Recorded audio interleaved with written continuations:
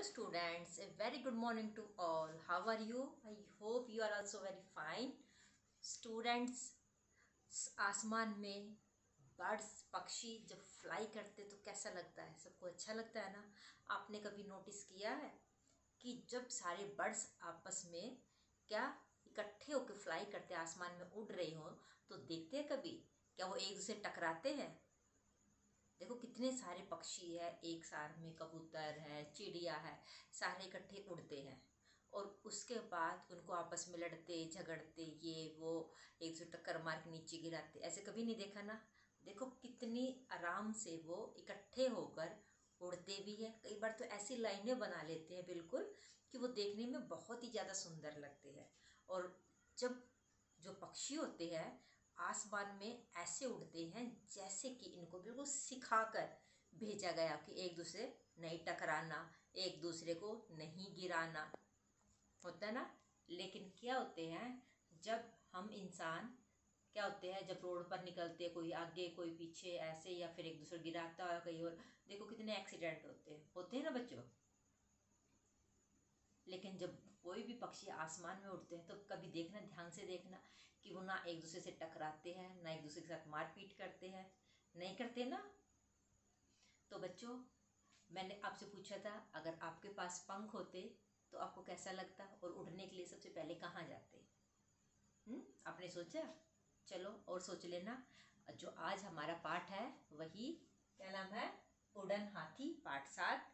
Picture में देखो आपको कैसे लग रहा है। पिक्चर से आइडिया आपको भी सुंदर सुंदर अपनी नोटबुक में पिक्चर बनानी है। तो बच्चों, आपको भी साफ़ साफ़ ऐसी पिक्चर बनानी है। कैसे? ये किस चीज़ की पिक्चर है? ये मैंने स्काई बनाए हैं। जहाँ पर क्या है? बादल है, तारे भी है, चाँद भी है और ये एलिफेंट है, यानी कि हाथी और ये इसके पंख है, यानी कि उड़ने वाला हाथी। और जो हमारा पाठ है वो क्या? उड़न हाथी। उड़न हाथी है जो उड़ने वाला हाथी हो। आपने देखा कभी उड़ने वाला हाथी? नहीं देखा ना? हमने भी नहीं देखा। लेकिन क्या होता बच्चों? कहानी में सोचने में क्या होता है? कि सोच लेते जब पक्षी उड़ते हैं, चिड़िया उड़ते हैं, कबूतर उड़ते हैं, तोते उड़ते हैं तो हाथी को, ये तो हमारे सामने हम सोच लेते हैं कि एक हाथी भी उड़ने वाला है। ठीक है? तो जो हमारा पाठ है, सार उड़न हाथी यानी कि उड़ने वाला हाथी, ठीक है? तो आपको भी अपनी नोटबुक में सबसे पहले इसकी पिक्चर बनानी देखते हैं कौन सबसे सुंदर पिक्चर बनाएगा, ठीक है? अच्छा बच्चों, अब हम आ जाते हैं अपनी कहानी पर। बच्चों, जो इस पाठ की कहानी है, बहुत अच्छी कहानी है, और कहानी क्या थी? जितनी में हमने पढ़ चुके हैं, उतने में बता देती हूँ, ठीक है? अच्छा तो इसमें एक एक किसान होता है, क्या नाम होता है उसका? दीनू। दीनू किसान होता है, वो बहुत गरीब होता है, लेकिन वो क्या है, उसका छोटा सा खेत होता है। छोटा खेत होगा तो फ़सल उसकी अच्छी होती थी, लेकिन उस छोटे से खेत में जो गन्ना बेचा था तो उसके थोड़े से पैसे आते थे। थोड़े से पैसे आते थे तो उसका साल भर का गुजारा मुश्किल से होता था। ठीक है बच्चों? तो एक दिन उसने देखा कि उसके खेत से गन्ने गायब है। अब एक जिसका छोटा सा खेत हो और उसी में से उस गन्ने गायब हो जाए यानी कि उसको खे उस, कुछ गन्ने खा रखे हो कुछ ऐसे ही बर्बाद कर रखे हो तो सबको गुस्सा आएगा ना जब किसी कोई किसान फ़सल बोता है। एक तो किसान ने दिनों ने पूरा साल भर मेहनत की। अब जो उसके गन्ने लगे और जब फ़सल अच्छी हो गई और उस फ़सल को बर्बाद करे तो गुस्सा आएगा ना तो एक दिन तो उसने सोचा, चलो कोई बात नहीं, गाँव वालों ने खाए होंगे। ठीक है? तो दूसरे दिन दूसरे दिन भी ऐसा हुआ। तो परेशान हो गया। तीसरे दिन तो उसने सोचा कि मैं तो खेत में ही, क्योंकि वो खेत में रहता था। अपनी पत्नी के साथ, बच्चों के साथ वो तो खेत में ही रहता था, झोपड़ी बना के। तो उसने सोचा कि मैं रात को सारी रात जागूँगा और अपने खेत की निगरानी करूँगा कि रात के समय कौन आता है। और मेरे गन्ने खाकर चला जाता और बर्बाद करता है। आज तो मैं उसको पकड़ूँगा ही। ठीक है बच्चों? आप कोई चीज़ गुम हो जाए, कोई आपसे बगैर पूछे ले ले तो आप सोचते जब रोज़ रोज़ कोई आपकी चीज़ गुम हो तो आप भी ऐसे करो आज तो मैं देख के रहूँगा, आज तो पकड़ के रहूँगा कि मेरी चीज़ किसने उठाई। ठीक है ना बच्चों? तो ये उसके किसके साथ हुआ? दीनू के उस जागता रहा। अच्छा अब इतनी तो कहानी हमने पढ़ चुकी है। अब इससे आगे आपसे एक बात पूछना चाहूँगी कि बच्चों, अगर आपके पास कोई, आपके पड़ोस में कोई ऐसा हो कि जिसके घर बिल्कुल गरीब हो बिल्कुल, और फिर एकदम उसके पास पैसा आ जाए और रोज़ रोज़ नए नए कपड़े खरीदे या कुछ भी काम करे तो आप सोचोगे ना? आप सोचोगे ना कि इसका ऐसा कौन सा खजाना मिल गया? कि इसके पास तो रहने के लिए अच्छा घर भी आ गया है, गाड़ी भी आ गई है, अच्छे कपड़े भी है, सारी चीज़ है ये। तो होता है ना कि एकदम इसको कौन सा खजाना हुआ सब पूछते हैं ना कि आपस में कि इसको क्या मिल गया, क्या मिल गया? पूछते हैं ना? होता है ना कई बार। तो इस कहानी में भी आगे ऐसा ही होगा। ठीक बच्चों तो पढ़ते अपनी बाकी बच्ची कहानी। आप ध्यान से सुनना, फिर मैं पूछूँगी ये शब्द किसने कहे, किसको कहे? ठीक है बच्चों, चलो करते अपनी, हमारी जो कहानी है, उड़न हाथी। तो बच्चों, ये हमारे साथ पाठ साथ है। उड़न हाथी। ये हाथी उड़ रहा है, ये गाँव वाले हैं। ठीक है? अच्छा अब ये बताओ कि जो दीनू किसान किसकी खेती करता था? किसकी खेती करता था? अगर आपने कहानी अगर पढ़ी हो ध्यान से। हाँ गन्ने की खेती करता था। किसकी खेती? गन्ने की। ठीक है? अब हमने इतना तो कर लिया था। कि उसने निश्चय किया अपने खेत की निगरानी कर दीनू ने निश्चय निश्चय पक्का इरादा कर लिया कि अब वो रात भर अपने खेत की निगरानी करेगा, देखभाल करेगा। उसी रात से उसने अपने घर की खिड़की से खेत की निगरानी करनी शुरू कर दी, यानी खिड़की से। अगर सामने खुले में खड़े होकर निगरानी करोगे तो चोर आएगा नहीं। इसलिए उसने क्या, घर की खिड़की से ही निगरानी करनी शुरू कर दी कि चुप चुप के कि मैं चुपके से देखूँगा और वो भी छुप कर। कभी वो आकाश में चाँद तारों को देखता, कभी गन्ने की फ़सल की ओर। ठीक है, अब अंधेरे में तो क्या देखेगा? वही देखेगा, या तो आसमान को देखेगा, या फिर फ़सल को देखेगा। क्योंकि अंधेरे में तो कुछ दिखता भी नहीं है। घंटों इसी तरह बीतने के बाद अचानक उसने देखा कि आकार में एक छोटी सी वस्तु मतलब ऊपर से क्या है, छोटी सी वस्तु, और धीरे धीरे बड़ा आकार लेते हुए धरती के ऊपर आ रहे। यानी जैसे देखो जब आसमान से भी कोई पक्षी भी जब ऊपर से नीचे की तरफ़ आता है तो ऊपर से तो बिल्कुल छोटा लगता है, लेकिन धीरे धीरे जब नज़दीक आता तो बड़ा हो जाता है ना। लेकिन ये तो इस, ये तो और बहुत बड़ा आकार लेकर पड़ रही थी। आश्चर्य के मारे दीनू की आँखें खुली की खुली रह गई, यानी हैरानी से खुली रह गई। उसने आँखें मसलकर पुनः, यानी कि दोबारा ध्यान से आकाश की ओर देखा। कई बार ये होता है ना, कई भी नींद ना आ रही नींद आ रही हो और मेरे को ऐसे ही, मेरे को सपने में तो मैं नीर जाग रहा। तो सहसा, अचानक, सहसा तो अचानक वो आकार एक उड़ने वाली हाथी के रूप में बदल गया। जो आकार था वो किसके रूप में बदल गया? उड़ने वाले हाथी बन गया वो। तेज़ी से उसने खेत की ओर बढ़ते, बढ़ने लगा। वह खेती की ओर, खेत की ओर मतलब खेत की ओर बढ़ने लगा। अब दिनों समझ गया। यही है वो जो उसके गन्नों गन्नों को चट कर रहा है। ठीक है? दीनू दबे पाव, यानी चुप चुप के दबे पाव होते हैं कि उस आपको उसकी मतलब उसको आपके आने की आवाज़ ना सुनाई दे। जो हाथी था उसको दीनू के आने की आवाज़ ना सुनाई दी, इसलिए वह दबे पाव। बिल्कुल धीरे धीरे जिसमें आवाज़ ना हो। दीनू दबे पाव अपने खेत की ओर बढ़ा और उसने उड़ने वाले हाथी, उस हाथी को गन्ने खाते हुए देखने लगा। उसने सोचा, आज इसका रहस्य जान कर रहूँगा। रहस्य यानी कि राज। ठीक है, क्या रहस्य? ठीक है बच्चों? कि हाँ ये क्यों खा रहा है? क्यों मेरे जैसे ही उसने अनोखे हाथी ने, जैसे ही उस अनोखे हाथी ने भर पेट गन्ने खा लिए और आकाश की ओर वापस उड़ने लगा।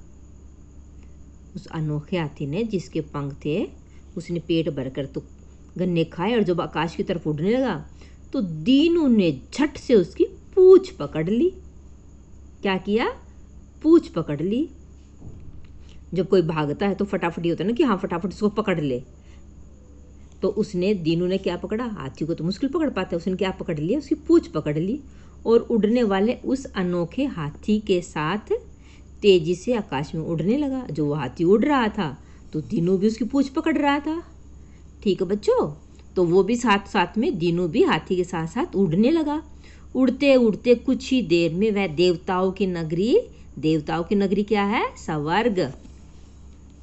कौन सी है? देवताओं की नगरी सवर्ग में जा पहुँचा। सवर्ग? सवर्ग की सुंदरता को देखकर दीनू की खुशी का ठिकाना ना रहा। स्वर्ग की इतनी अच्छी सुंदरता देखकर सब बहरान रह जाएगा ना, उसके पास तो झोपड़ी थी। लेकिन स्वर्ग में तो बहुत ज़्यादा सुंदरता होती है बहुत सारे सब कुछ अच्छा अच्छा होता है।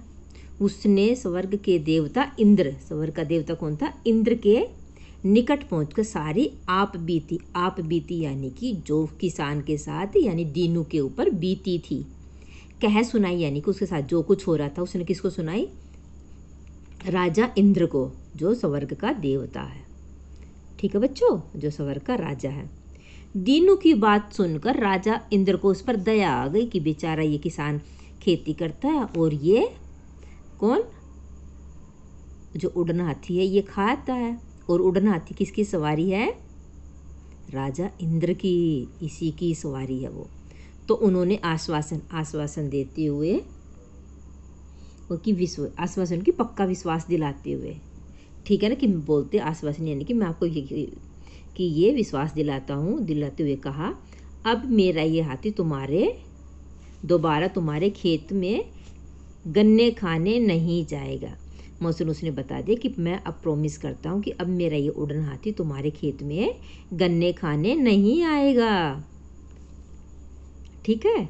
तुम चाहो तो अपने गन्नों का नुकसान के बदले मेरे राज्य से भी कुछ ले जा सकते हो। तो राजा इंद्र ने क्या कहा? जो तुम्हारा कुछ नुकसान हुआ ना, उसकी मैं भरपाई करने के लिए तैयार हूँ। यानी कि तुम मेरे जो राज्य है ये स्वर्ग से कुछ ले जा सकते हो। दीनू को इंद्र के न्याय पर खुशी हुई। मतलब उसको, दीनू को खुशी हुई कि इंद्र ने उसकी बात सुनी है। ठीक है? और वह कुछ हीरे मोती लेकर धरती पर लौट आया। कुछ ही दिनों में हीरे मोती तो बहुत महँगे होते हैं ना बच्चों। ठीक है तो लौट है कुछ ही दिनों में दीनू ने अपने लिए एक बड़ा मकान बना लिया। यानी हीरे मोती बेचकर उसने एक बड़ा मकान बना लिया। अब उसका घर गाँव भर में सबसे बड़ा और सुंदर था। क्यों? क्योंकि तो वो तो स्वर्ग से हीरे मोती लेकर लौटा था और उसने उसको बेचकर और क्या बनाया? सब गाँव में सबसे बड़ा और सुंदर घर बना लिया। दिनों किसान की इस बदली हुई हालत को देखकर गाँव वालों को ईर्ष्या होने लगी, जलन होने लगी कि ये तो किसान था, इसके पास तो कुछ नहीं था। अब इसने पास ही सबसे बड़ा घर बना लिया, या तो झोपड़ी में रहता था। तो गाँव वाले थे उसको ईर्ष्या होने लगी, यानी कि जलन होने लगी, सब उसे जलने लगी। उन्होंने उसकी पत्नी से इसका रहस्य इसका रहस्य जानना चाहा। रहस्य? यानी कि ऐसे तुम्हारे पास कौन सा खजाना आ गया कि कल तक तो तुम हमसे खाना, वो क्या? अन्न लेकर खाते थे? और अब तुम, अब तुमने घर भी बना लिया।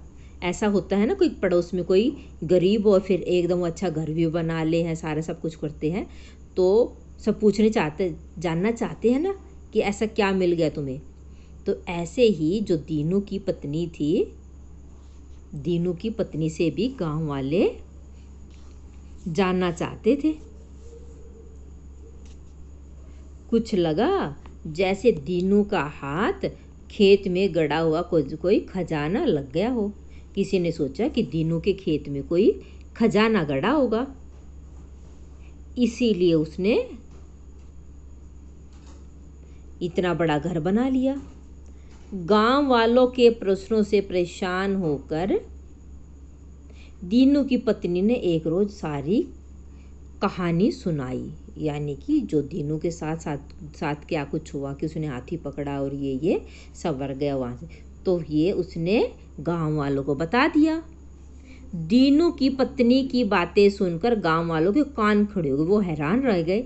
सभी किसानों ने किसानों ने गुपचुप मिलकर एक सभा बुलाई और इस बात पर सहमति बनाई कि वे उड़न हाथी को दोबारा धरती पर आने के लिए मजबूर कर देंगे।